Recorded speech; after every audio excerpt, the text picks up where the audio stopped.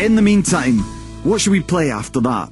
Robbie said there are many fast cars in motor racing, so Fleetwood Mac's the chain. Ah, well, you can't get more appropriate than that, can you? What are we going to do, Miss B? There's a clever one from Robbie Earl on our Facebook page who points out uh, that uh, John Lennon lived and indeed it was killed outside the Dakota building in New York. So we could play Dakota by the Stereophonics. Like that, and like Neil Martin's idea of posthumous hits. Uh, both quite clever. Uh, let's do Stereophonics, shall we? Uh, Dakota, suggested by Robbie Earl on our Facebook page. If you want to follow this up, get in touch, 80295. Uh, and then you can also give us a call, 0500 92 95 00. Will it be something stereo?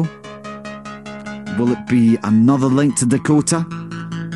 Be as clever as you like. Let's see what you come up with. We're passing it on tonight.